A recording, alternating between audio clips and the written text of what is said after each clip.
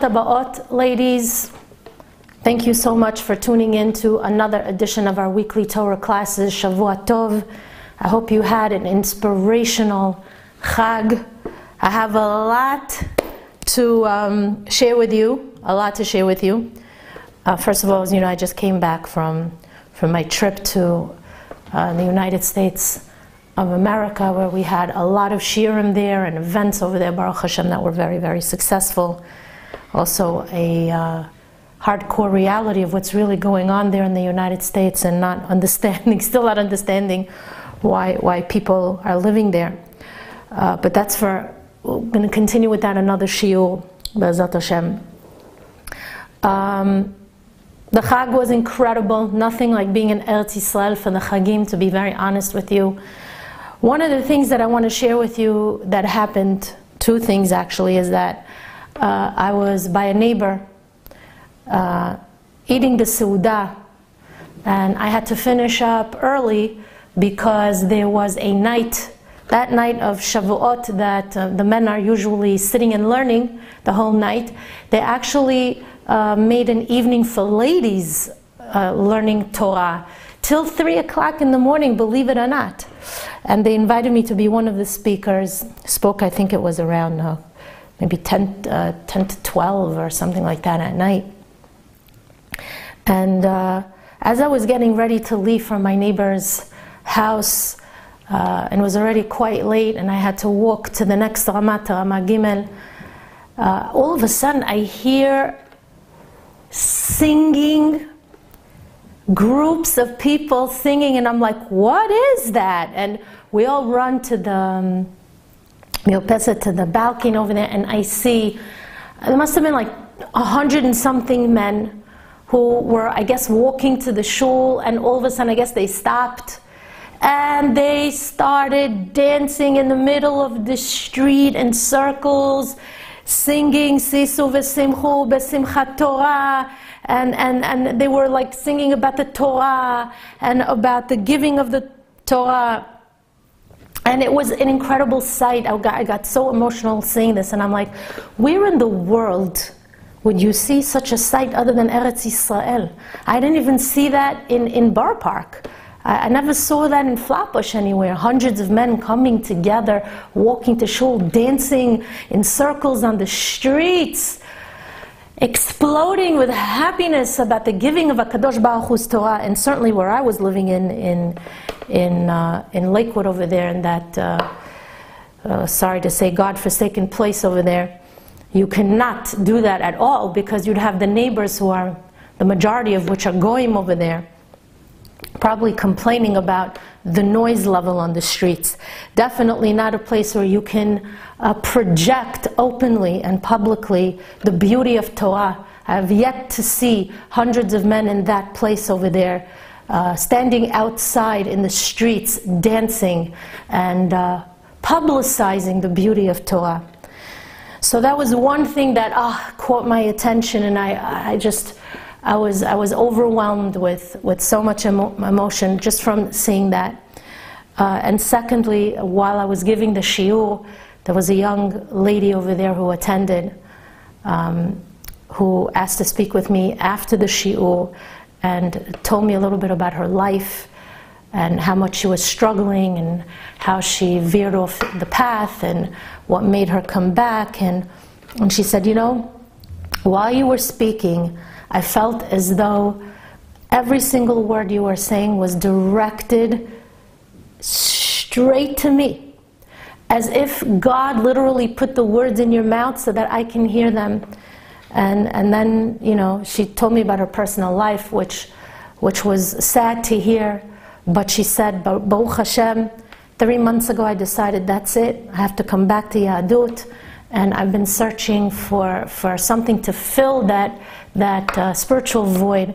And Baruch Hashem, I came to this uh, shiur and I heard your shiur, and, and I hope to be in touch with that young lady. So I, I felt even more emotional because I was like, look at this. You never know what you're going to say that is going to inspire someone uh, either to make a change in his life or to inspire him to continue um, on, the, on the path of righteousness.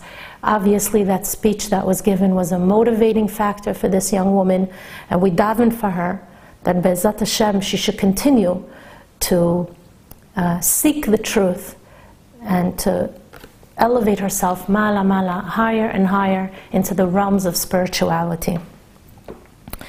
Um, and of course, the most incredible thing that I have yet to see is young children. And when I say young, I mean eight year olds, nine year olds, 10 year olds. My next door neighbor's son, an eight year old boy. My downstairs neighbor's son, a 10 year old boy. My upstairs neighbor's son, a nine year old boy. Went with their fathers to learn. Went with their fathers to learn. And most of them, like I asked them the next day, I'm like, so, did you manage to stay up? My downstairs neighbor's son stayed up till 4.30 in the morning. I said, what did you learn? He says, I learned Baba Metzia, what we started to learn in school. We started to learn Baba Metzia, and he opens up the Gemara, he says, this is what we learned. He went over with me what he was learning in the Bet Midrash till 4.30 in the morning. My next door neighbor's son, he's eight years old. I said, Shimon, what, what, what did you learn? He says, I learned halachot with his father all night. I said, when did you finally fall asleep? He says, 3.30 in the morning. And so on and so forth. My upstairs neighbor's son was up till 5 in the morning. These are young children that slept during the day in order to go with their fathers to shul to learn Torah all night. I have a question. Where do you see that? Where do you see that? Ah, Kadosh Baruch Hu should just give you all the clarity of mind and heart to make the right decision and to come join us here in Eretz Yisrael so you could be a part of this magnanimous world of spirituality. Tov.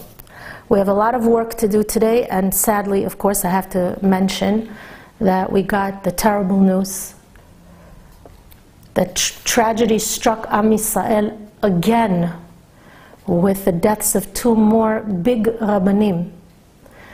Harav Eliyahu Abba Shaul Alav Shalom, uh, such a tragic piece of information because he was the grandson of Harav Ben Zion Abba Shaul, who was a big, big Mekubal, Alav Shalom. And, um, and Harav Uri Zohar Ben Golda, Alav Shalom, that was like a shocker of all shockers. He was in his early 80s. He was a Chozer B'Tshuva from many, many years ago. He was very instrumental in bringing back to the fold many, many, many Jews, back to Yadut, back to Kadosh Baruch Hu. He dedicated his entire life and left show business, which uh, he was a, a, big part of. He was a producer, a director, uh, an actor, a performer, and he left that world in order to, uh, to be in the service of the Ribbono Shel Olam. So when we heard the news, it was, I think, Erev Chag, like a Thursday, I, I got the shock of my life. Uh, another Rav, another Rav. It's just another indication that the, the Nevuah, the prophecies, are coming to life. That as the Mashiach draws closer, more and more rabbis will ascend to the Shamaim, leaving us without anyone to, on whom to rely on other than Avinu Shebashamayim. And that really has to be catapult us to and direct us towards uh, the truth that en lanu al milishain. There is no one on whom to lean on. Um, I want to dedicate the shiur. Uh, first of all, it's today's uh, yahrzeit of the holy Avraham ben Avraham, a Ger Tzedek, a convert to Judaism from many years ago, who lived during the time of the Gaon of Vilna, and he actually died al Kiddush Hashem. He sacrificed his entire life, left the church in order to become a Jew. And um, unfortunately, he was found out. He was hiding among the Jews in Vilna. Uh, unfortunately, sadly, a Jew was meiser on him and uh, the Inquisition, I call it an Inquisition even though it wasn't in Spain, um, they came after him and uh, he did not wish to return to the church and so he was uh, burned at the stake during the times of the Gaon of Vilna, which I, which I, I think, if I'm not mistaken, was in the mid 1700s. So it's his yahrzeit today. We want to dedicate the shiur first and foremost to Avraham ben Avraham alav shalom, and to a young man that I promised his mother uh, we would dedicate the next year since he passed away uh, a week and a half ago, sadly and shockingly, at the age of 42. In, uh, right in front of his house, he got a heart attack and he passed away. And shockingly, when I heard his name, I almost fell off my chair because that's that he had a, a, has a very similar name to my previous Rav, who also passed away at the age of 43, very very similar. Um, his name, we want to dedicate the shiur to Simantov Moshe. Simantov is his first name, believe it or not. Simantov Moshe HaKohen ben Tamara, alav shalom. And the, the, the stories that I heard about this young man, just one, I'm just going to tell you one before we begin because it's such an inspirational story. His sister was there. I went to be Menachem Avelim while I was in the United States, and um, it was in Borough Park where the family was sitting Shiva. It's a Bukharian family. And his sister was telling me how uh, two years ago, um, he was, uh, he, he, there was a court case. It was against a particular company or something, and the judge awarded him $2 million, which he received. And she said, you know, he lived in a small apartment in Brooklyn, and rather than spend that money on building himself, buying a house, on renovations, on cars, on whatever it may be, on material items, she said that the last two years, all he did was give his money away to tzedakah. And when he was nifter, calls came in to his parents from all over the world regarding chasadim that this man did with that money.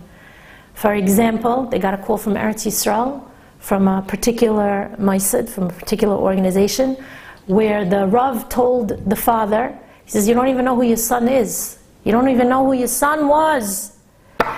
With that money, he was supporting 10, uh, 10 men who were sitting and learning. He gave money to almanot to be able to support themselves, widows. He married off children, yatomim, um, orphans who didn't have the money to get married. He pretty much, all he did with that money was give tzedakah, give tzedakah, give tzedakah because he felt that money is not to be spent on myself here. If HaKadosh Baruch Hu awarded me this money, I have to give it back to Him in service of His children. And that's what He did. In those two years, all He did was spend His time doing chasadim and helping people. What an incredible, inspirational story this is. There are people who have money or accumulate money, and what do they do? They hold on to it, and in their tzava'ah, they want to give it away to who? To their children, to their grandchildren. And this guy says, I'm not leaving anything for my children. I'm leaving them this legacy. He told his wife, I'm leaving them this legacy that they should learn what it is not to keep money, but to help people with that money. And he continued to live in a small apartment together with his wife and small child while helping others in despair. What a lesson of life this is. What a lesson of life this is. So the next year, uh, we're going to be dedicating our shiurim to Simantov Moshe HaKohen ben Tamara alav shalom, and anyone else who also wishes to uh, contribute to the shiurim and also wants me to dedicate a shiur, whether it's Leilui Nishmat, somebody in particular, or uh, for refuah shalema for somebody, or for zivug hagun or hatzlacha, whatever it is, you know what to do. You could log on to www.ohelsara, Sarah is without an H, ohelsara.com, and make your donation over there. Okay, we've got a lot of work to do. So uh, get out your cup of coffee. When I tell you that, it means it's going to be a nice long shiur uh, which you might want to take notes on because there's definitely a lot of lessons from this week's parasha in Eretz Yisrael, which, which is Beha'alotcha.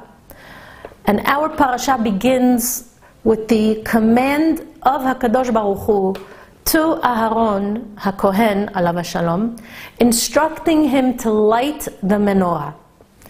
Chachamim explained that Hashem wasn't only commanding Aharon to light the menorah, but rather it was also a form of appeasement. How so? Well, based on some of the events that transpired in last week's parasha, Aharon was a little upset and he needed some consolation. Why? What happened in last week's parasha?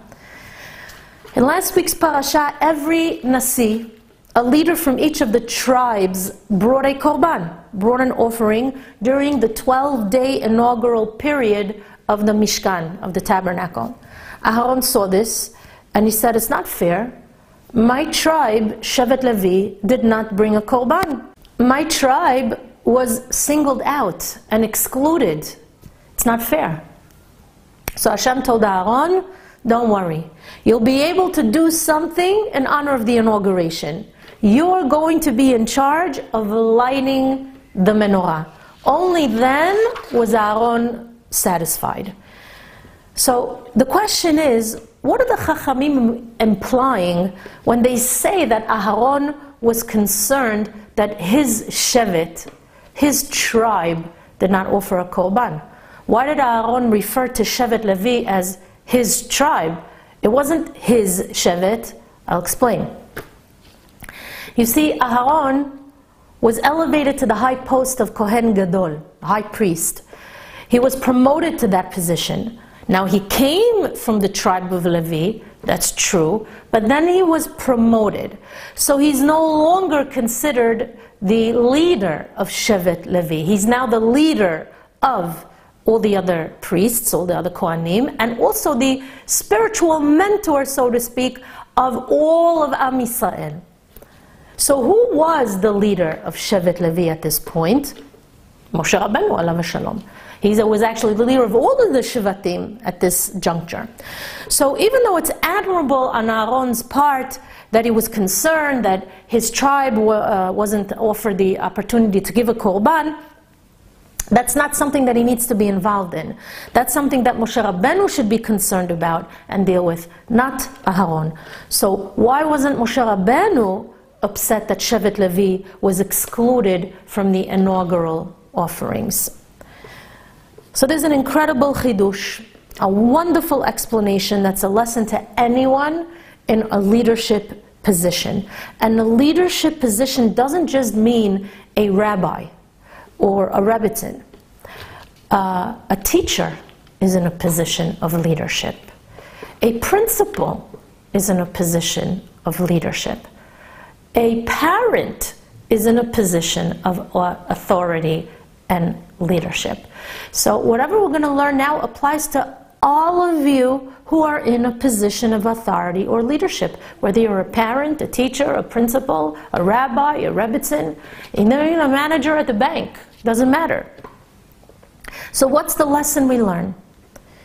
The Torah is teaching us that once a person is elevated to an authoritative or leadership position in his community or in his circles, he cannot think only in terms of quote unquote his tribe. There's no longer his group, his family. Once he becomes a leader of his community or his circle, everyone in that community becomes a part of one huge shevet. So it wouldn't have been appropriate for Moshe Rabbeinu to be upset concerning the tribe that he came from, Shevet Levi, and to ask Hashem why his tribe was excluded. And that's because Moshe Rabbeinu was now the leader of all of the Shvatim, not just his own. So Moshe Rabbeinu was teaching us a lesson through his inaction. The fact that he didn't speak up and ask Hashem, well, Hashem, what happened to Shevet Levi? Why weren't they asked to bring a korban? Was to demonstrate that once he assumed the leadership position over all of Am Yisrael, every tribe is his tribe. And whatever battles have to be waged on behalf of the people must be waged on behalf of everyone and not just his Shevet, his tribe. And that's a huge lesson. because it teaches us not to show favoritism to anyone, no matter who they are, or what their position is in the community, or where they come from, or even your immediate circle. Everybody has to be given the same attention, the same right, and equal benefit of the doubt. Every person should receive a fair judgment and be looked upon with the same eyes as his neighbor. There's no such thing as a leader who will only lead a particular sect in Am Yisrael. A true leader will be open to all of Am Yisrael because everyone together is part of one unit. All Jews are connected. It wouldn't be correct, the Torah is telling us, or appropriate for any leader to place the Jewish people into segments, decompartmentalizing them, where he'll only deal with the more religious or with those who come only from his background and his nationality, or those who offer the most donations or have the same hashkafot, viewpoints and minhagim and customs that he has. A true leader does not divide Am Yisrael into groups. Every Jew should be rendered as equal in the eyes of a leader. Every Jew should be dealt with appropriately and with compassion and love. And every person in Am Yisrael should be tended to by that leader in accordance with their level of observance. But for a leader to say, that he only subscribes himself to a certain sect of Jews and not others. To say, I only deal with the Haredi Jews, I don't have anything to do with the uh, non Haredi, non observant Jews. I only tend to the Hasidic Jews, but not the Sephardi Jews. I'm more comfortable catering to the Litvish Jews, the more yeshivish crowd, not the Hasidim, not the Sfaradim. Or I can only offer my time to my congregants and not to anyone else outside of my shul. That's a wrong attitude to have. You don't have time for me. I'm a Yudiya. I want to talk to you. You're a rabbi. And because I'm not a congregant of your shul, you don't want to give me the time? Chachamim tell us a leader should never do such a thing. Never do such a thing because that means he's placing boundaries and limitations on who he helps and who he leads. He's segregating the people. He's picking and choosing who he's going to tend to and who, uh, who's going to have to deal with this person. Let somebody else deal with that person. I can't, they're not a part of my keilah. That's not true leadership. And that's one of the lessons we learn in this parasha concerning authentic leadership. And uh, by the way, it's something I learned from my previous Rav, Rav Moshe Chai Simantov, Alav Shalom. It's something he always did. Anybody who ever came to him, his door was always open. It didn't matter you're from the congregation, you're not from the congregation, where you came from, who you are, what your background is. Even if you were a goy, he gave you the time. It's also something I learned from my Rav and Rebbitzin. I remember there were times I had a, uh, uh, I had a friend who, who was going through a tough time at home with her husband, with kids, and I said, why don't you speak to my Rabbanit? Because she had an issue at that time that her husband didn't really have a Rav, anybody she could talk to really and guide. So I said, why don't you speak to my Rabbanit? Maybe the Rabbanit will speak to the Rav. She's like, I don't know. So I finally managed to convince her to speak with the Rabbanit. And I, I remember asking my Rebbitzin, I'm like, would, would you be able to give her the time to speak with her? Her first words were, What is the question? I can't believe you're even asking me such a question. Mashallah, of course, I'll be happy to speak with her. And she did. And I found it amazing because she didn't say, No, uh, the truth is, I don't have time for her. I don't have time for her. I have 300 um, families that I deal with every day. I have a keilah. The Rav has a keilah. No, that's not what she did. She gave her the time of day, time and time again when she needed her. That was a lesson that Baruch Hashem, I really adapted from both my spiritual mentors, the ones who are no longer here, sadly, and the ones who are alive and well, they should live and be well.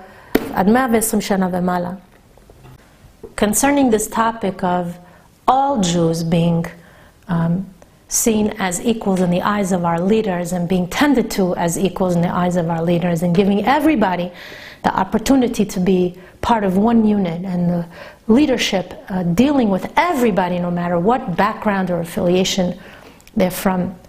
Uh, uh, I want to tell you that uh, when I was writing the shiur, uh, I always ask Hashem for simanim that what I'm doing is good, what I'm doing is okay. And I mean, you're not going to believe what I'm telling you now. And it's okay, but I have to call my Rebbitzin tonight and, and share this with her.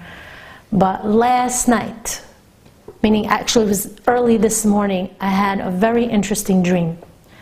Uh, I had a dream that I was in this vehicle with someone. I don't know who the someone is, I just know it was another woman with me.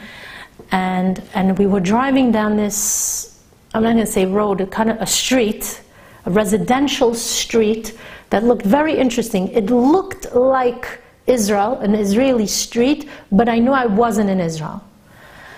Um, it felt uh, like I'm between here and maybe somewhere in the States. I can't really say where.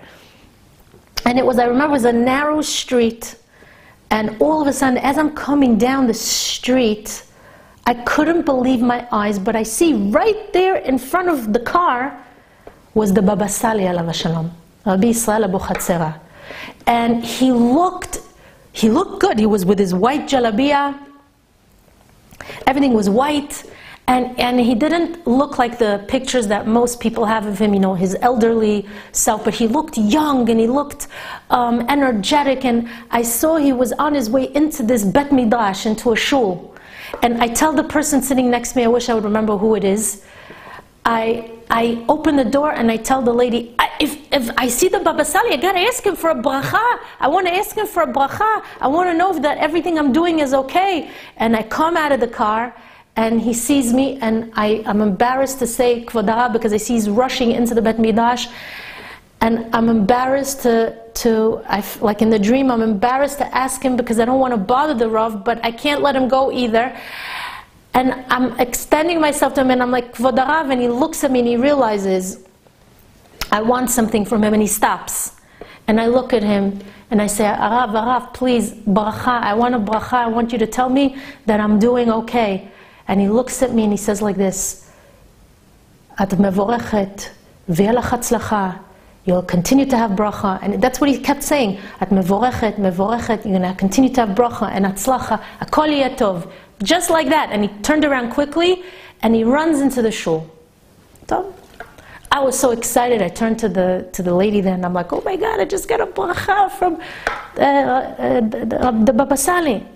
All of a sudden, I see, I guess people heard, must have heard that Baba Sali was in town. And that's why I say I wasn't sure if it was Eretz Yisrael or, or America. It felt like people from America, but it didn't look like America. And I see them like crowding all around that area where the shul was. They were all coming to see the Baba Sali. And I come out of my vehicle now, I'm standing next to this lady, I guess was with me, and there was a lot of people. There were ladies and men of all backgrounds and nationalities, and that's why I'm telling you the story. You had Hasidim, and over there on the right, I remember seeing all the yeshiva guys, the, the, the Litvaks, the Litaim. And over here, I remember seeing Hasidim and Sfaradim everywhere. And everybody was so happy to greet the Baba Sali.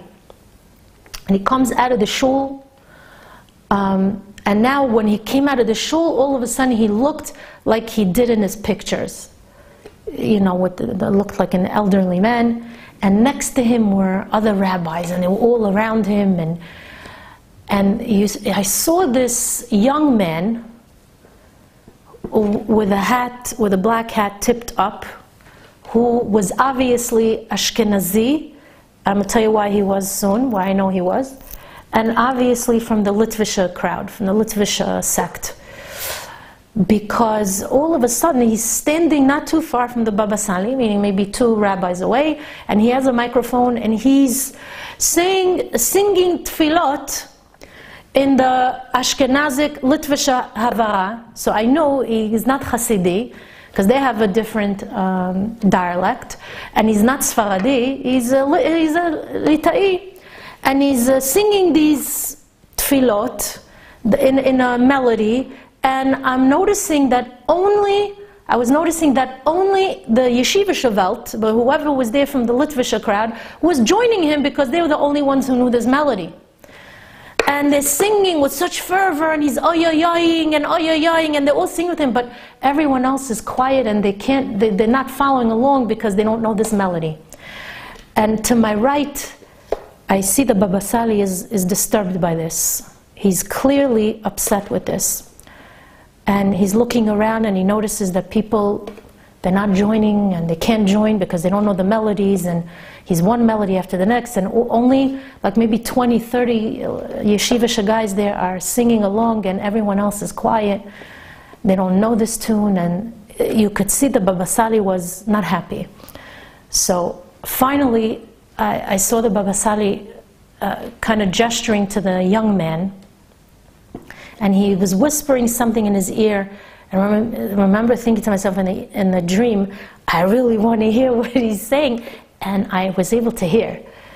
And the Baba Sali tells this young man, in the nicest, sweetest way, maybe you choose a negina, a nigun, that everybody here can sing along to. That was his way of saying, you, you, kind of um, you're leaving you're excluding everyone else and the only one singing is your crowd you know maybe sing a nigun he says that everybody uh, he says to him can join. I couldn't believe my ears when the young man had the chutzpah to tell the Baba Sali like this. He said to him, It's okay, it's okay. Whoever wants will follow along. And you saw the Baba Sali's face, he was so upset. And the, the, the guy realized in the dream, the guy realizes that he's upset. And now he knows that uh, he doesn't want to have dealings with the Baba Sali, right? So I see the guy like coming to the middle of the square. There was like a square. And he tells the Hasidim, who are uh, over there to, like to my left, he says to them, to them, now we're going to sing a melody that you know. Well, that made them feel bad. And next thing I knew, everyone starts to scatter away, starts to walk away. The only ones left there were these yeshiva guys and the Baba Sali walks away also. And I remember thinking in the dream, wow, wow, the Baba Sali asked for unity, and we couldn't even give him that much. This boy couldn't even give him that much. And everybody walked away as if it was as if, you know, I felt in the dream like, what can we do? We're, not yet ke'am echad. We're not yet ke'am echad. But that was a dream that I had with the Baba Sali, and for me it was. Uh, First of all, that the Baba Sali Bechal came to me in a dream and that he blessed me and that I saw this whole picture. To me, it was like a siman that the, the shiur and the idea of leadership and what it means to bring people together and not to exclude anyone was as if the Baba Sali was saying, This is what I want. This is what I want to see from Shamayim. I want to see people together. I want to see one melody. I want everybody to be involved. I want all Jews to feel united. I want not one person to sit there in silence. I want that everybody, like he said, Ke'am echad, I want them all be, to be Ke'am echad. And that's what we have to strive for. But there's another lesson as well. There's another lesson we learn about leadership that's actually found in Perek Yud Aleph of this week's parasha. You can look it up.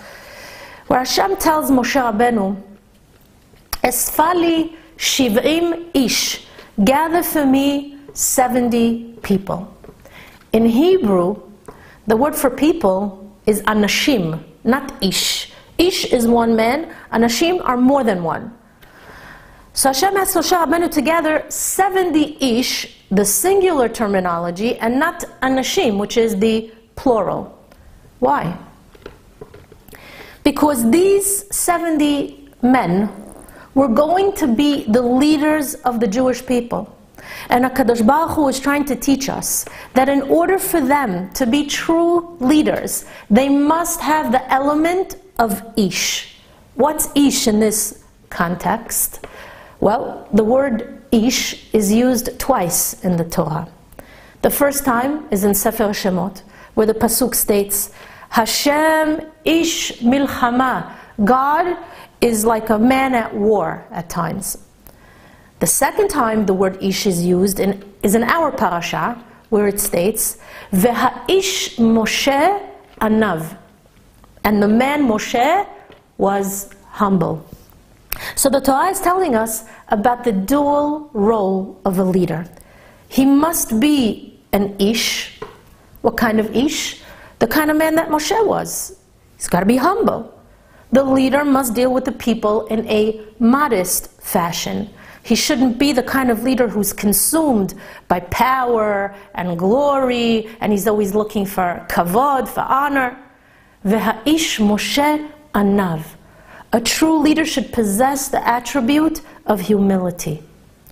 But at the same time, the humble leader cannot allow his humility to cause him to veer off the path of musar. Humility should never stop a leader from taking a stand when he sees incorrect behavior in his students, in his community, in his neighborhood, in his family. He shouldn't be afraid of protesting against the things that oppose Torah values. A humble leader should not use his humility as an excuse to bow out of providing musar to the people because of his fear of how they're going to react, what they're going to say. Sometimes a leader has to take the stand of the ish milchama. He must be a man who wages war in defense of the Ribono Shel Olam. So there's a dual role a leader plays. He must be an ish anav, a humble person. And sometimes he must be an ish milchama, a man who will do battle in order to maintain God's honor in the world. That's why HaKadosh Baruch Hu commanded Moshe Rabbeinu saying, Esfali shiv'im ish, gather for me 70 ish, not anashim. HaKadosh Baruch Hu wanted these 70 leaders to learn the lesson of ish. He wanted them to understand that sometimes they're going to have to take the position of the ish milchama, and sometimes to utter that which is unpopular and difficult for people to hear.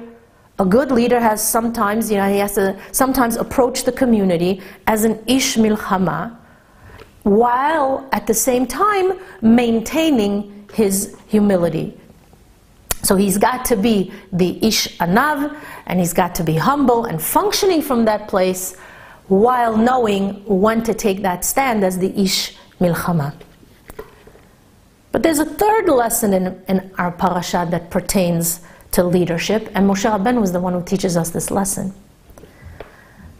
Moshe Rabbeinu tells Hashem that he's an elderly man now, that perhaps arrangements should be made to seek out his replacement, somebody else who can lead the people in his stead.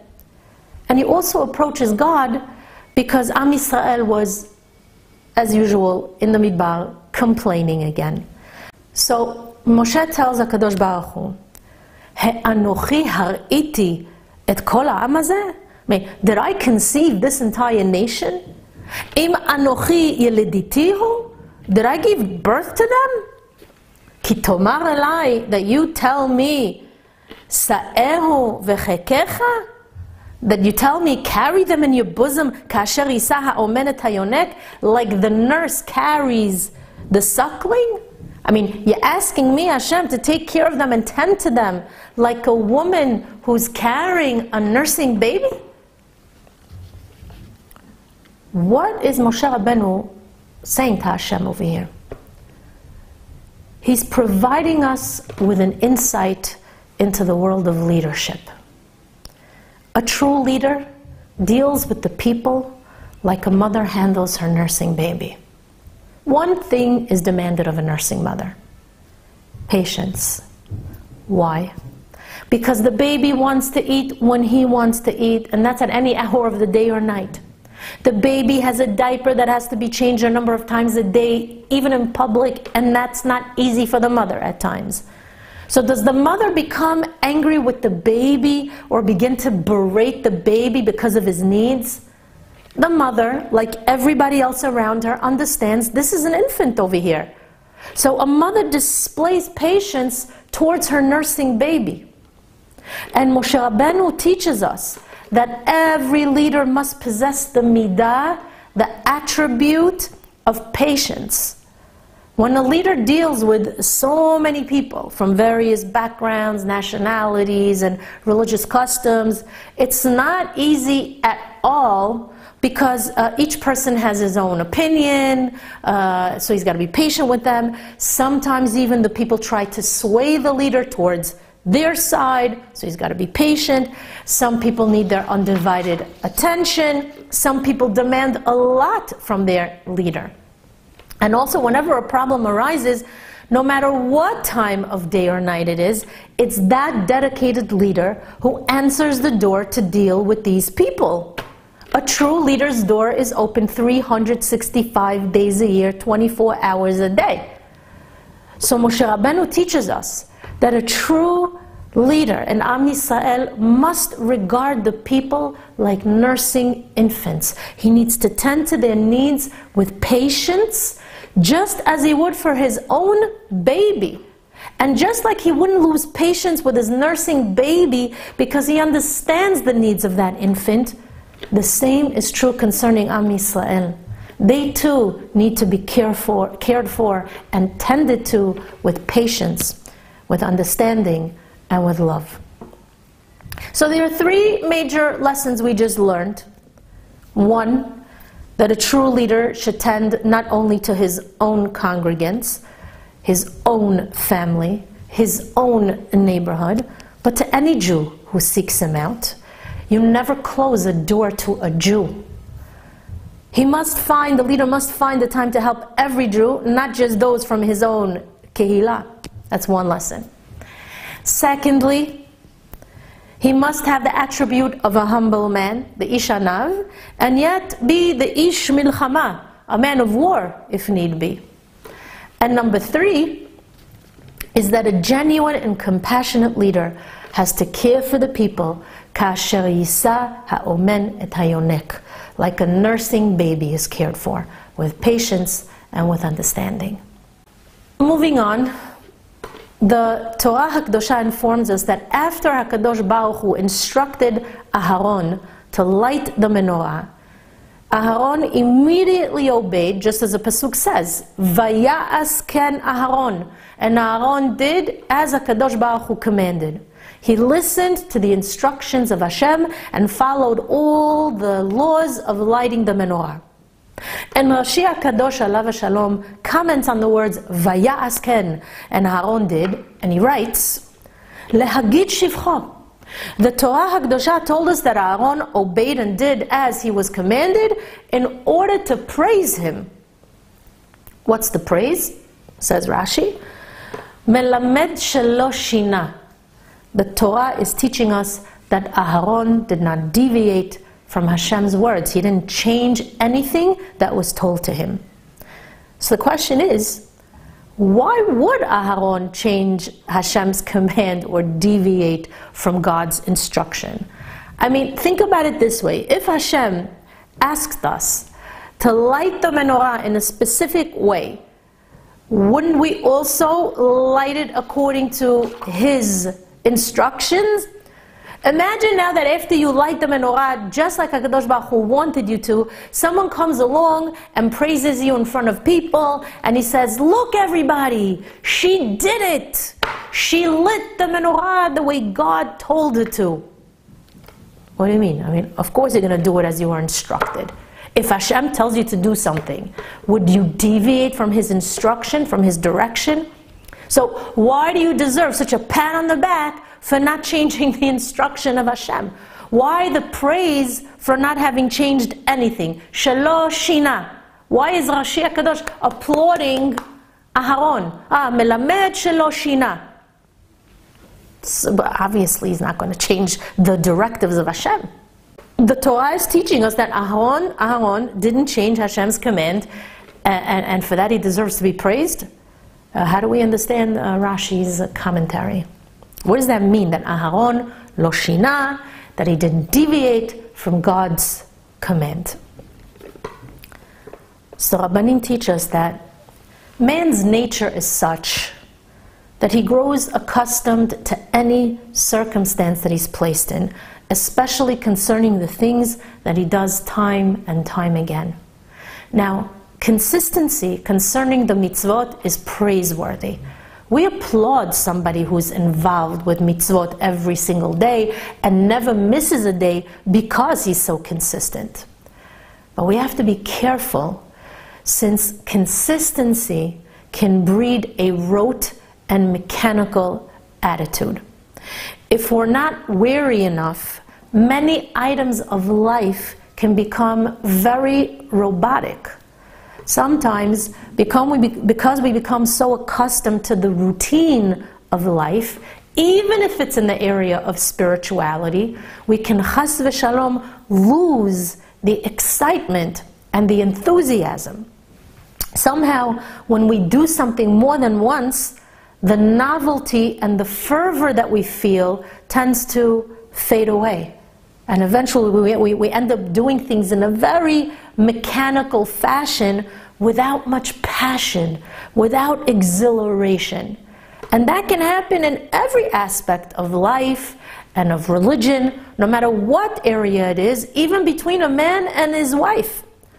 So, the key to a life filled with fervor and passion is to hold on to that original feeling and never lose it. And if you never had the original feeling, then you have a problem. then you have a problem. Then you have to work on creating one. But the point is that that was the greatness of Aharon HaKohen.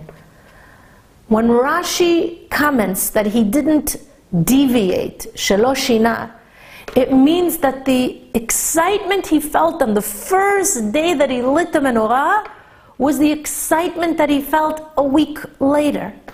It's the same anticipation that he felt a month later.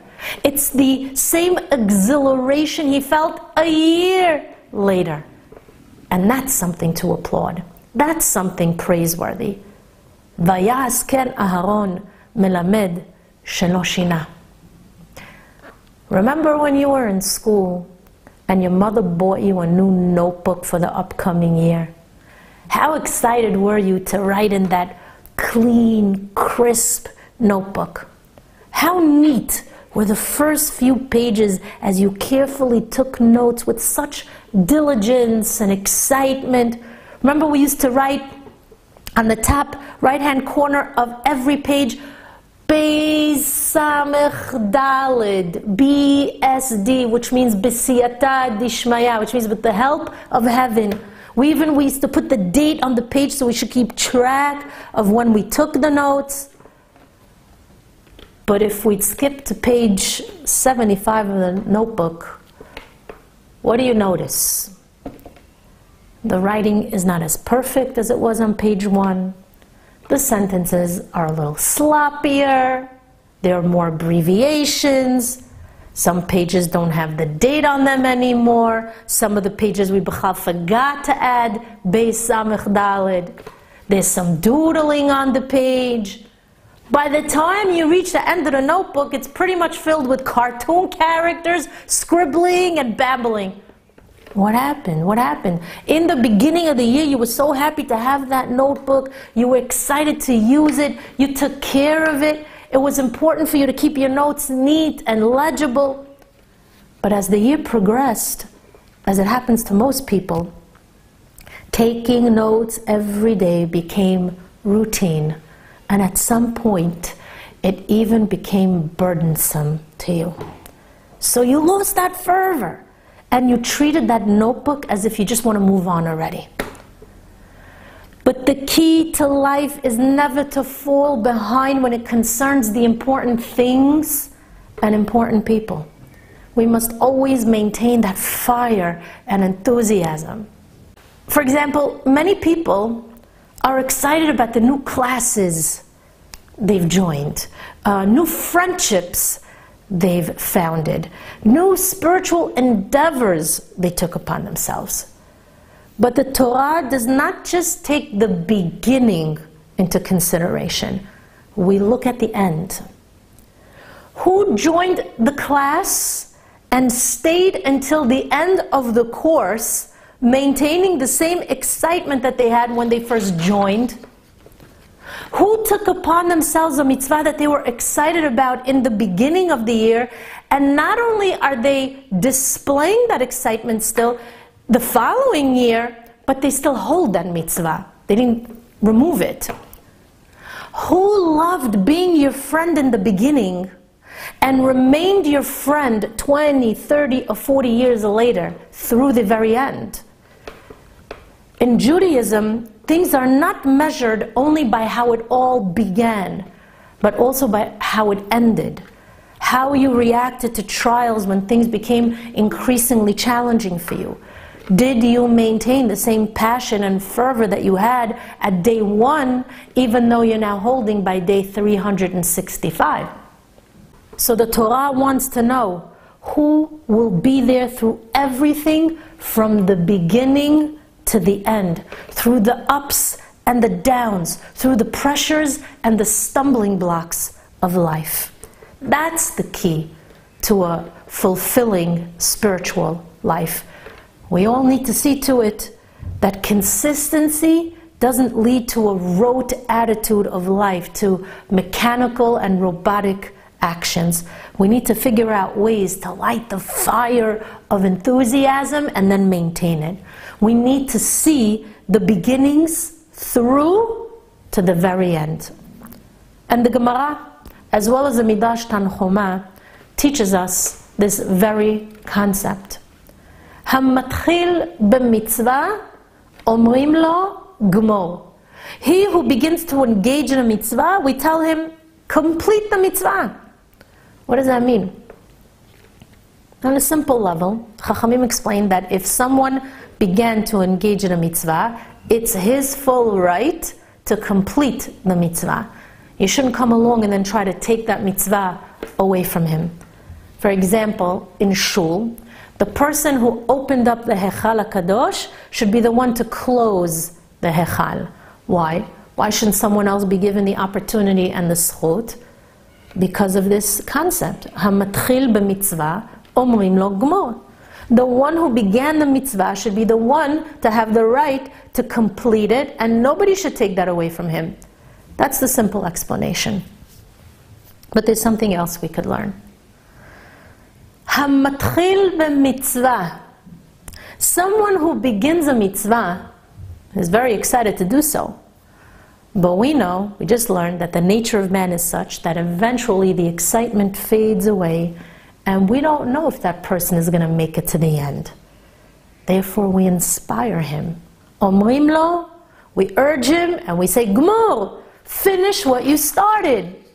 We have to motivate him to complete his mission to complete his task or any spiritual obligation in the proper way. We encourage him not to leave things unfinished or have done without any closure. We help him to have the same enthusiasm that he had at the beginning, also to have it at the end. So we become his support system so that he maintains the motivation to continue along the path of mitzvot that he set out upon to begin with. But we don't do the opposite. We don't see him, listen, cooling off, veering off, not interested so much, and then we say to him, Oh, poor you, it's too hard for you, you're overwhelmed, you can't handle it, you took too much upon yourself, you weren't ready, it's too intense for you. No worries, you don't have to continue, you could stop could stop. You could turn around and head back in the other direction. Hashem will understand. What matters, what's most important, is that you started, that you had good kavanot, you had all the good intentions. We don't do that. We don't do that. Hamatchil b'mitzvah omrim lo gmor. We encourage him. We support him. We urge him. We inspire him, and we hold his hand through it all and to the finish line. It might take him longer because it's hard for him, might take him longer because he can't handle it right now, might take him longer because uh, he's, he's not yet ready. But we'll take him to the finish line. We're not going to tell him give up. Sadly, the nature of man is such that he wants to be matchil. He wants to begin his road of spiritual greatness, but he doesn't always get to the finish line.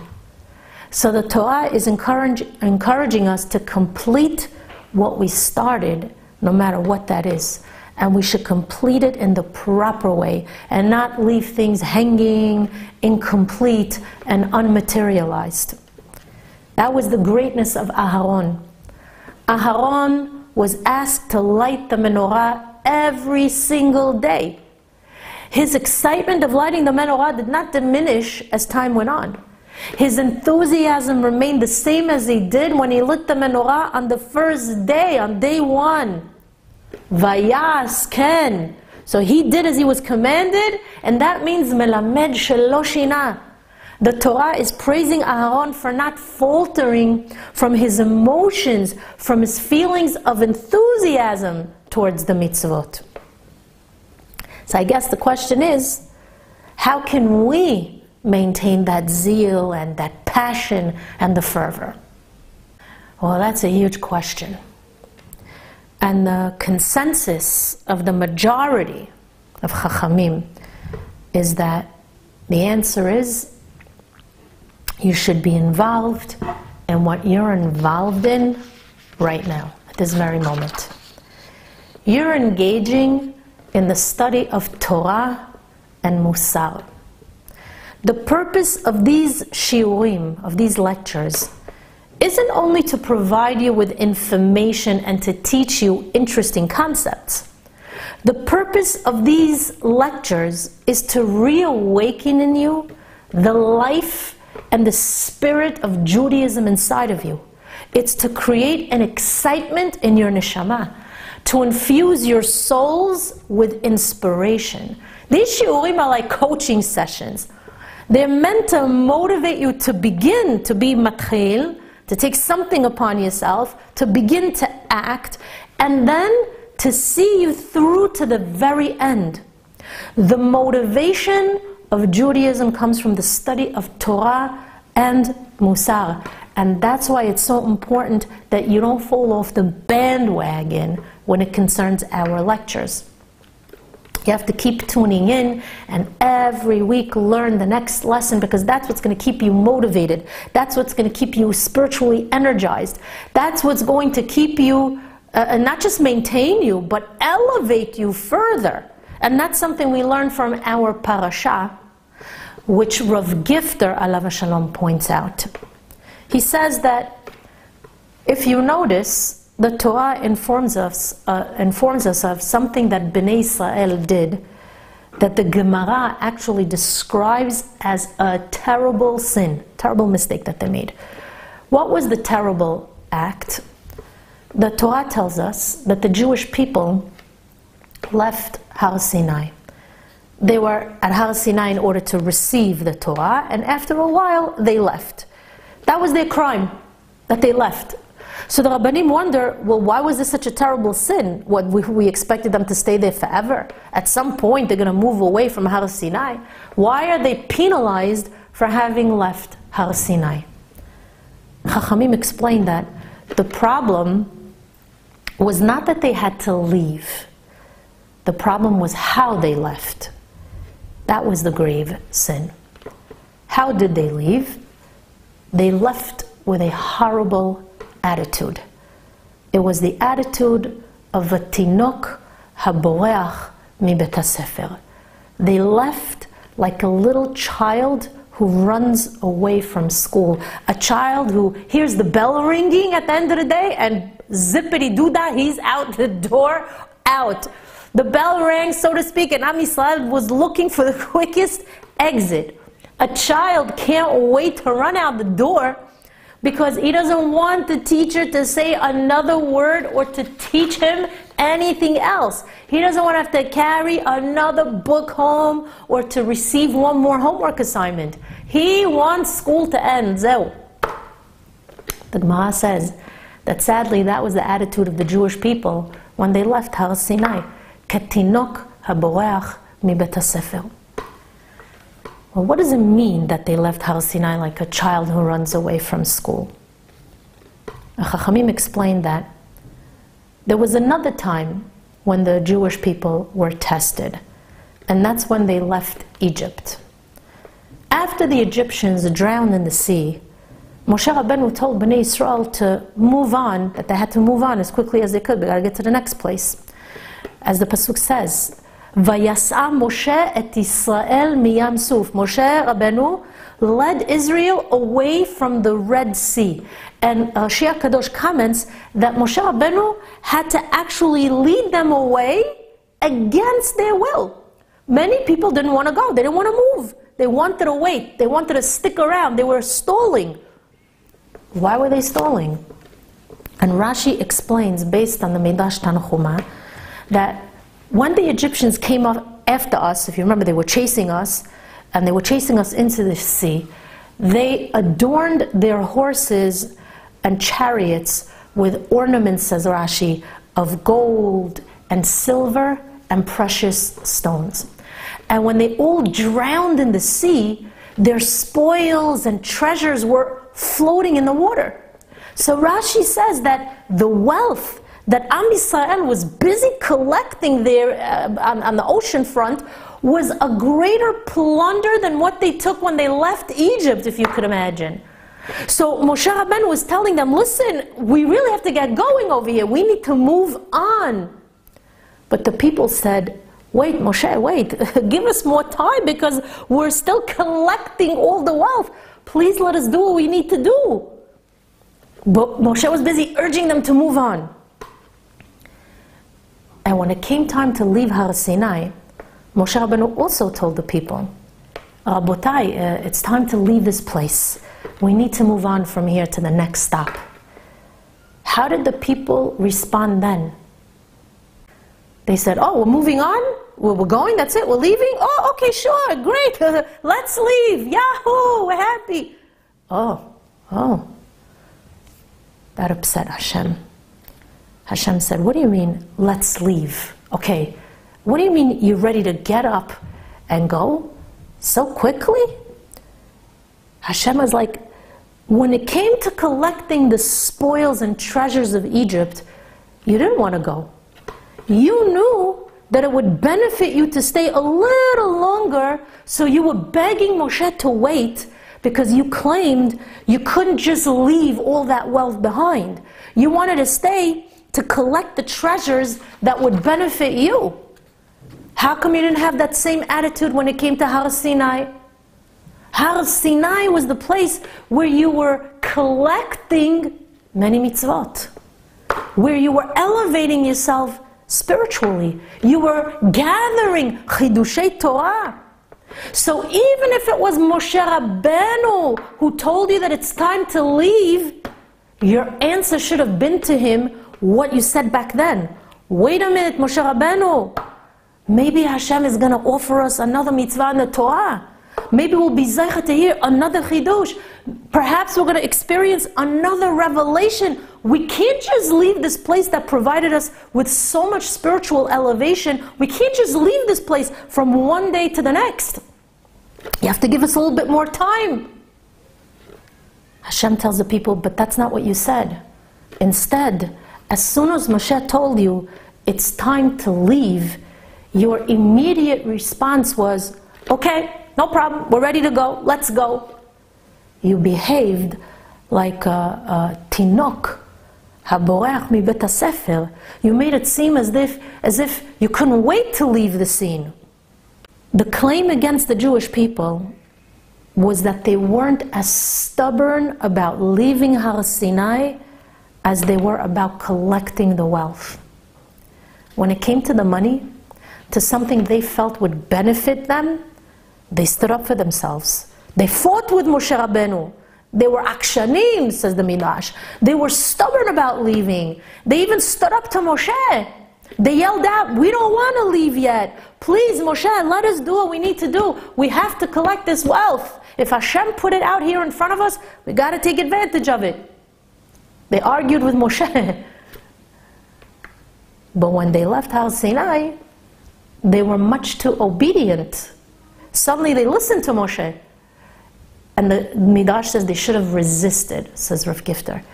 They should have displayed a stubbornness to leave the site that elevated them. But the fact that they were so obliging and they didn't protest, even if it was Moshe Rabbeinu, they should have protested, was like the child who ran away from the school the minute he heard the bell going off. So Rav Gifter tries to explain to us the attitude that Bnei Israel had. And he says, in order to explain that kind of attitude, we have to understand what the attitude of a child who uh, runs away from school is. Then we'll understand what the problem with Klal Yisrael was. And he asks, well, what is that child so excited about that he's now going home? After all, he knows he's got to come back to school the next day. It's not like he's really uh, free now from his learning obligations. So he runs home uh, for, for the next nine, ten hours. But the following morning, he still has to go back to school and face his teachers. He still has to sit in the classroom again the next day. So, why does this child run away from school with such an excitement? And Rav Gifter explains that for that child, it's a break from the action.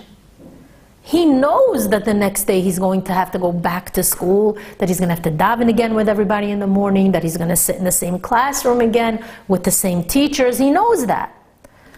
But in his mind, the break provides him with a respite between one day and the next.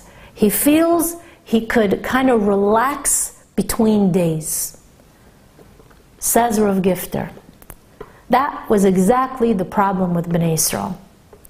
When they left Har Sinai, no matter where they were going to travel to in the Midbar, they'd still be obligated to keep the mitzvot and to learn Torah.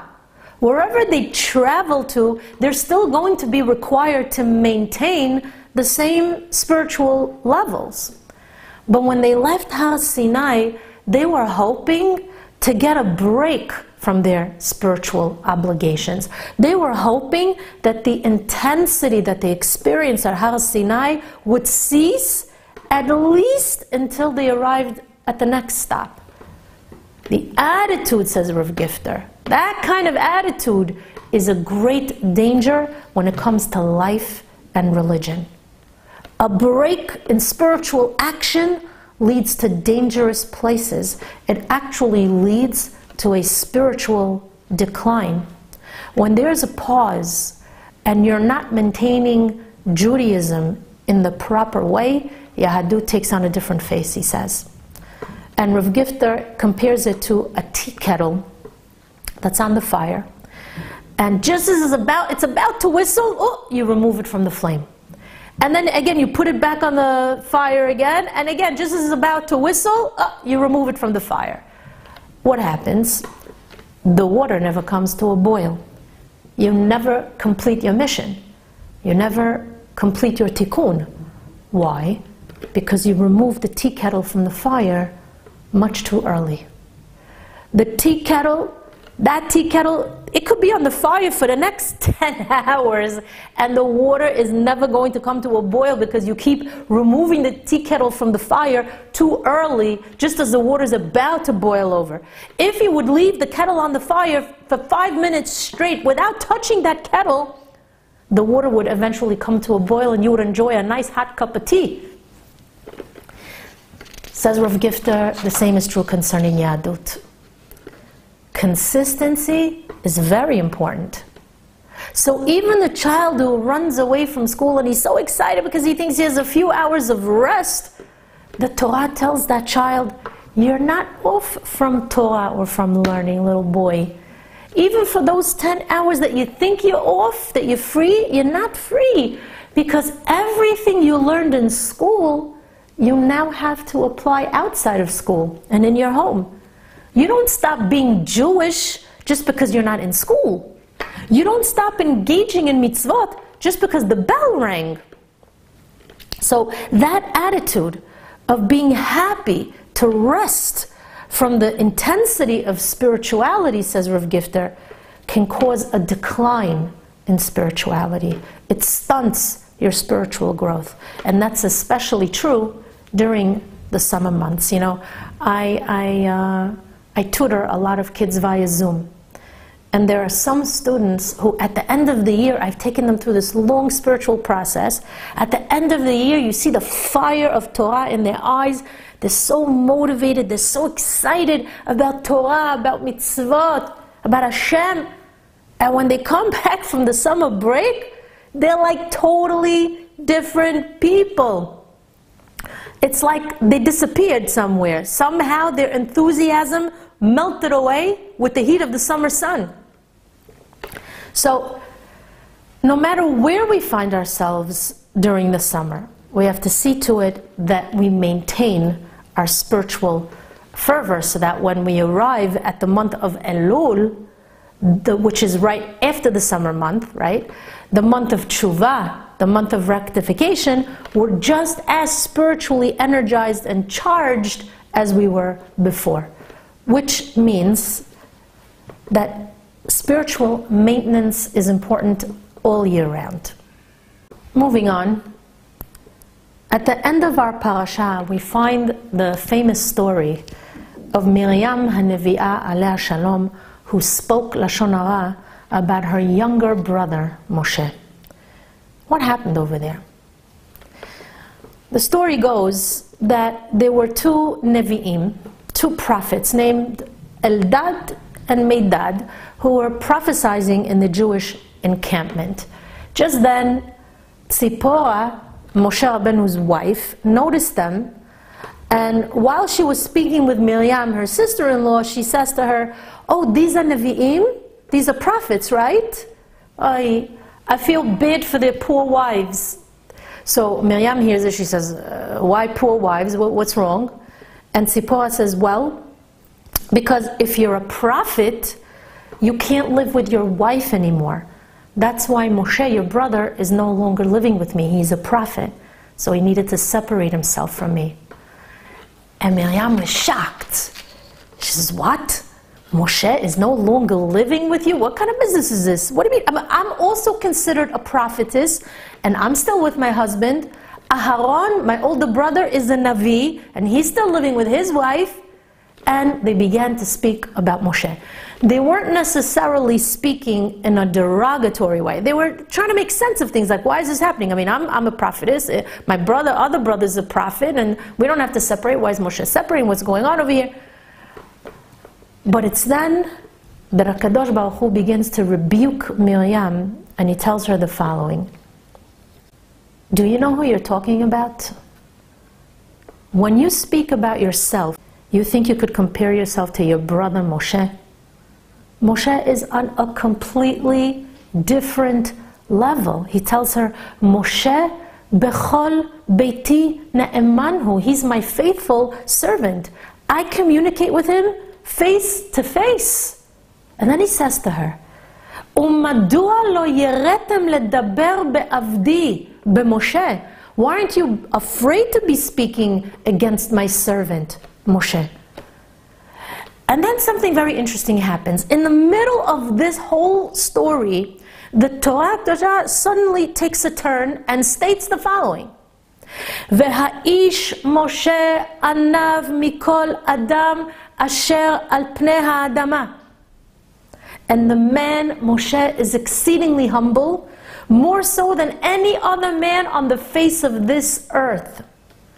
In the middle of the story, as we're being told that Miriam spoke Lashon Hara, the Pasuk informs us that Moshe was exceedingly humble, and then we're told that Hashem rebuked Miriam and punished her.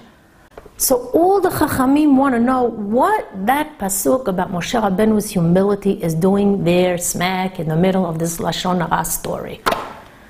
Because the story seems to be flowing nicely.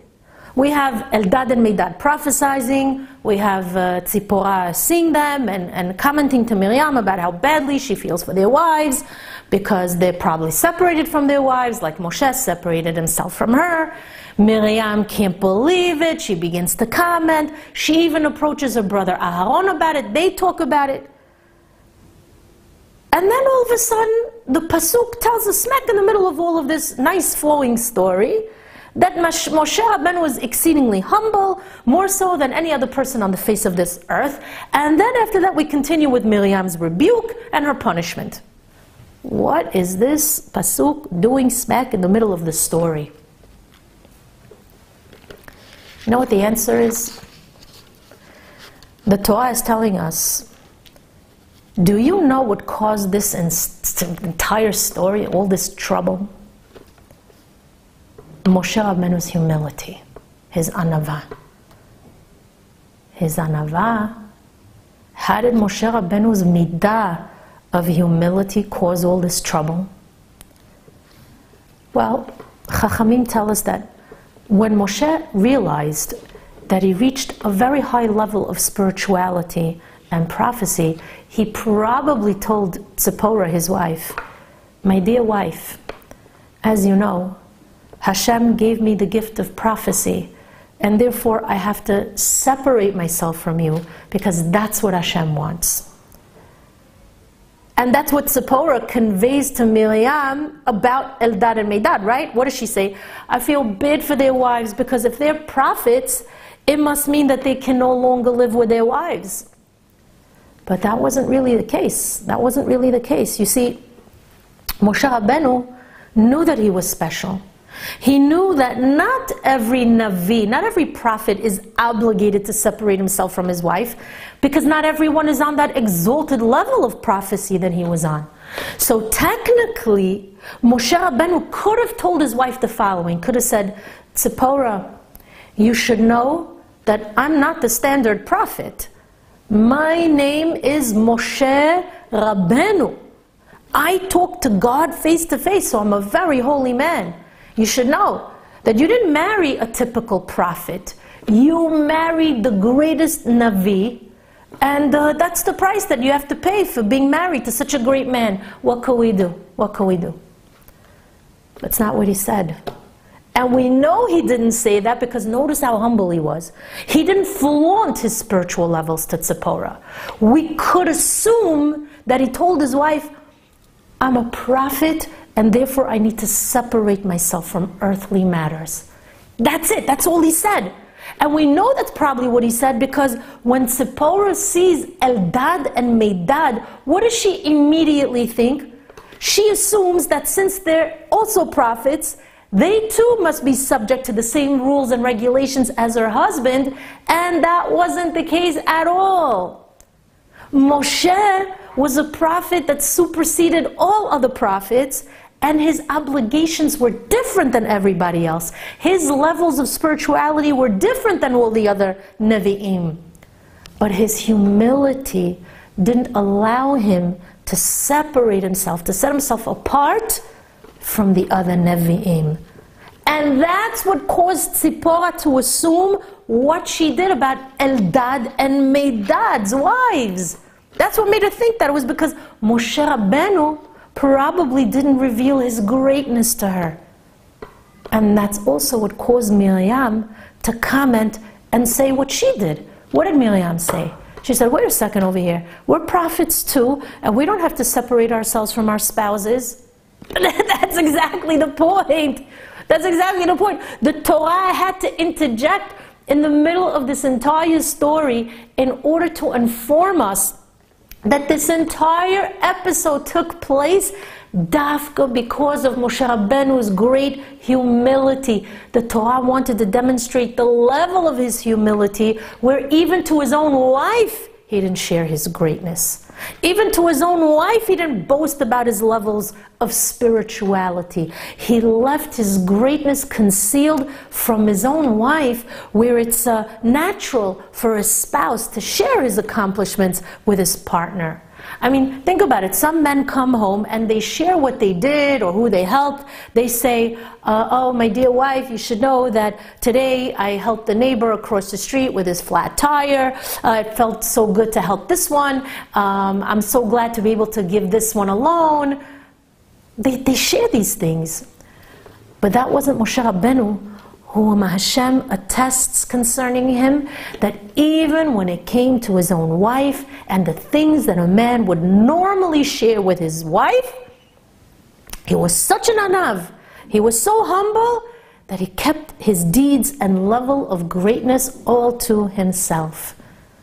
And that's why Tzipporah thought that Eldad and Medad had the same spiritual obligations Moshe did. That's why Miriam made her comment, which was considered Lashon Hara. And, and then, of course, she's then punished for uh, speaking about her younger brother. She's punished with, uh, she's stricken with leprosy, with tzarat, for a period of seven days. During those seven days, Bnei Israel remained encamped and they didn't travel. They waited for Miriam to recover from her affliction. Now try to imagine that for a moment. Two million people are all in a state of pause because one woman was ill and in solitary confinement. HaKadosh Baruch Hu actually commanded the people saying that they cannot travel until Miriam recovers from the tzarat. And the Chachamim and the Gemara wonder, should an entire nation, millions of people, wait due to one afflicted person? Why should they all wait? Why should they all wait? And the Gemara states that this was Miriam's due reward because there was a time in her life where she waited for someone. When was that? When Moshe Rabbeinu was an infant and placed in the basket upon the Nile River, the Torah tells us that Miriam followed the basket as it flowed down the Nile River and she waited and waited and watched over the basket to see what would happen with her younger brother. So the Gemara tells us in the zchut, in the merit of Miriam waiting and assuring that her brother was safe, Hashem rewarded her in kind, and the Jewish people years later waited for her. Chachamim tell us that on that day that Moshe Rabbeinu was placed on the Nile River, really Miriam could have continued with her life and gone home and prayed for him at home, far away from the river. She could have said, Once my mother put this basket in the river, what could I do already? All I could do is pray and hope that whatever happens should be for the best. But that's not what she did. She was so concerned about the welfare of her younger brother Moshe that she couldn't just move on and go home until she waited and waited and knew bevadaut, with certainty, that he was safe and he was sound. And Hashem was so moved by that gesture that he said, Because you waited out of concern, the entire nation will wait for you out of their concern for you when the time comes. No one will leave you behind in the same way you wouldn't leave your brother behind. And I once heard a Rav comment on this, so beautiful, and he said, You know, it's wonderful that Hashem responded to Miriam, midah keneged midah, measure for measure.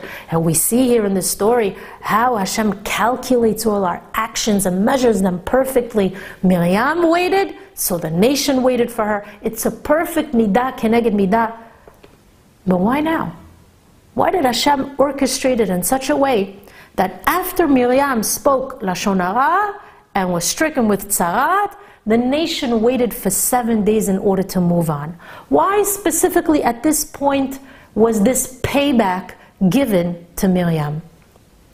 And this Rav explained that very brilliantly that as a result of this story, when uh, you know when Miriam spoke about her brother Moshe, Hashem felt a need to come to his defense. Hashem uttered the most beautiful words about Moshe, words that were never spoken about anyone the way HaKadosh Baruch Hu spoke about Moshe. HaKadosh Baruch Hu called Moshe his trusted one. Bechol beiti ne'emanhu, pe el pe adaber bo. He tells Miriam that he speaks with Moshe through very clear visions that most prophets don't merit to have. Hashem asks her why she wasn't afraid to speak about his faithful servant. God defends Moshe to Miriam with an entire speech about how wonderful her brother is and how no one is like him. And it's at this point that we truly realize who Moshe Rabbeinu really was. At this point, we also realize what a great deed Miriam did all those years ago when she waited just a little while longer to see what would happen with her baby brother. At the time that she waited to see what would happen, it was a simple act of a sister waiting for her little brother, making sure that he was all right and safe. I mean, it makes sense. Should be the natural reaction to most. But it's not a major story over here that she waited. But when you fast forward the clock and you realize who that baby turned out to be, what he accomplished, who he became, how many people he saved, what he brought to the world and what Hashem thought about him.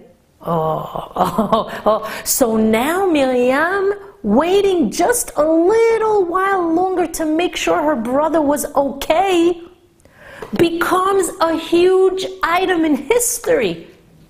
Miriam has an enormous zchut in the history of her brother Moshe because she just didn't turn around and walk away hoping it would all turn out well.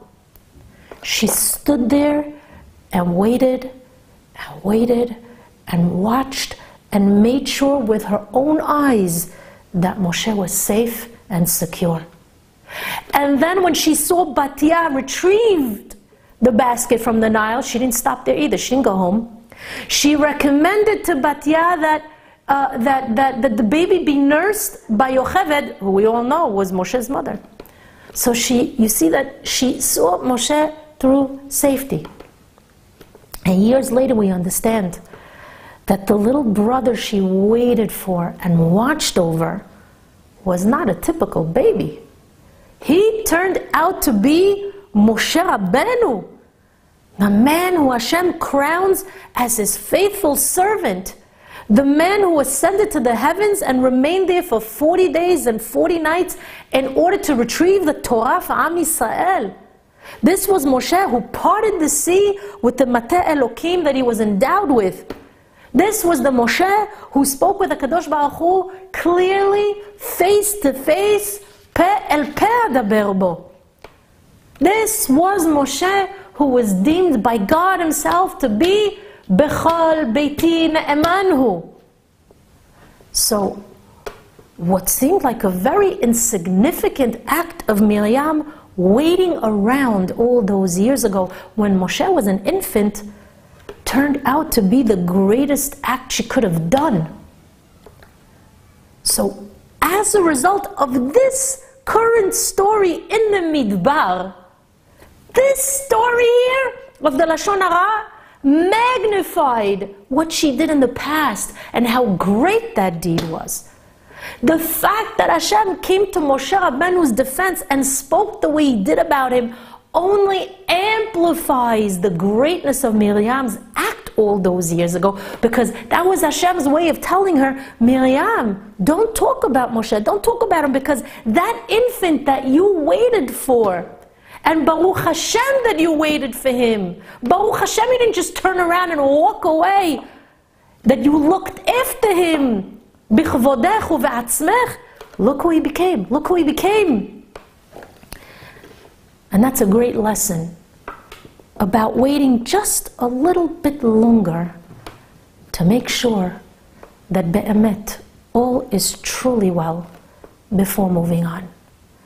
And also the, the lesson of the magnitude of zchuyot, of merits that a person accumulates when he sees things through properly, honorably, and with great care.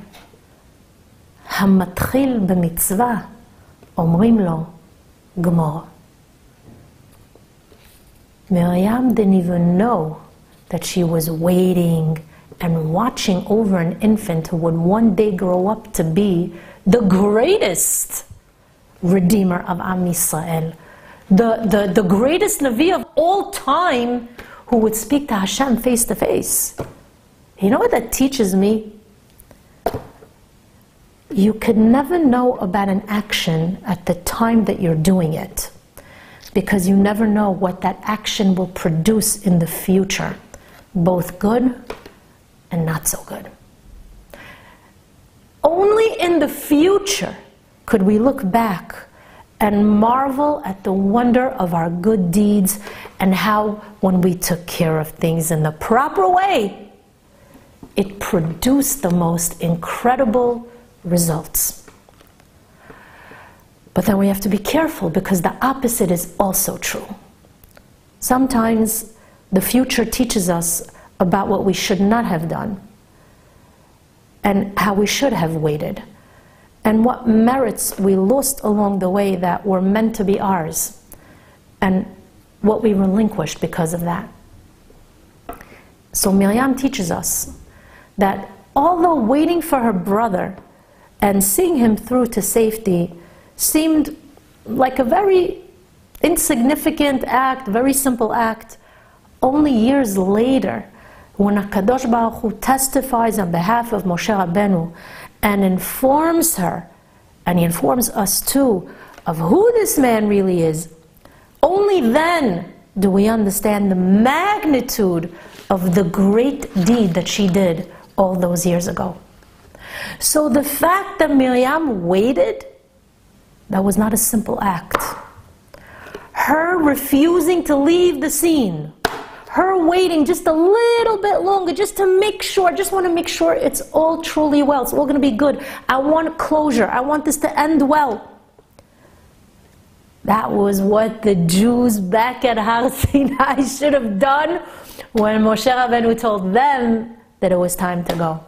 They should have done what Miriam did. They should have told Moshe Rabbeinu, listen, Moshe, we need to wait just a little bit longer to see what's going to develop here before we walk away to the next station. Miriam waited. That was her greatness. She waited. And greatness breeded greatness. Therefore, at this moment now, in the desert, Hakadosh Baruch Hu felt it was time to repay Miriam and demonstrate to her the significance of what she did all those years ago.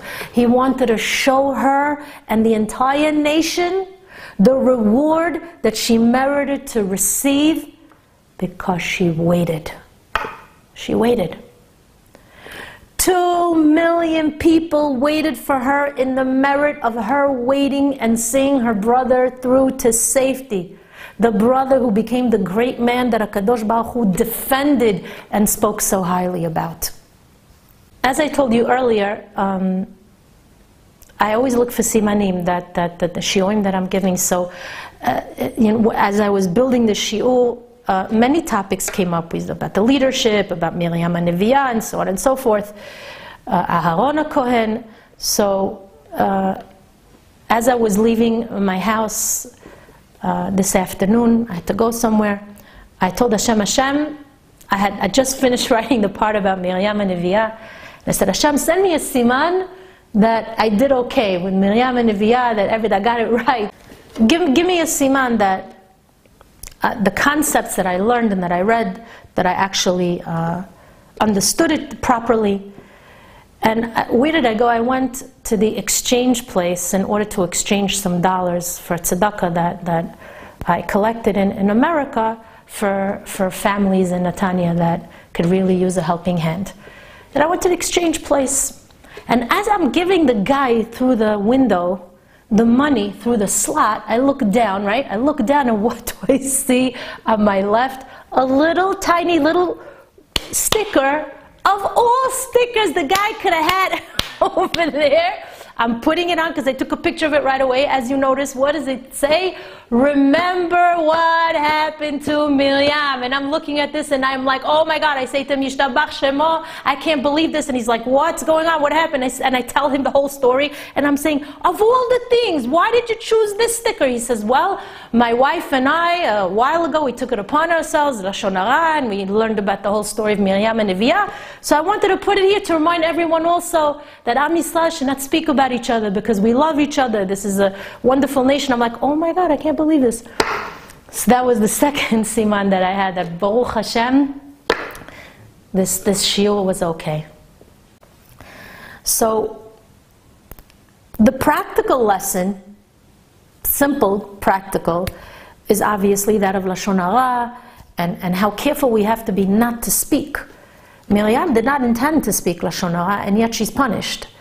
Uh, we're not on Miriam's level, and therefore we have to be even more careful, uh, you know, to speak, you know, and how we speak. Davka, because if Miriam was punished, even when she didn't intend to speak badly, kal v'chomer, I said kal v'chomer, alachat kama v'kama, even more so, when we speak uh, um, with certain intentions in mind. And we know when we say what we say, what we mean to say, and what messages we want to impart to the person who is listening. So we have to be very careful, very careful. And of course, the other lessons of the parasha that we learned today, I hope, will inspire us to respond accordingly to life, to challenges, to the people that we encounter. And B'ezrat Hashem, in the merit of everything that we take upon ourselves from this shiur, in the zchut of any mitzvah that we're going to complete, will be zaychet to greet the Mashiach bekarov and be rewarded in kind for all the good that we did, not only at the beginning, but how we followed through until the very end. Amen, Ken.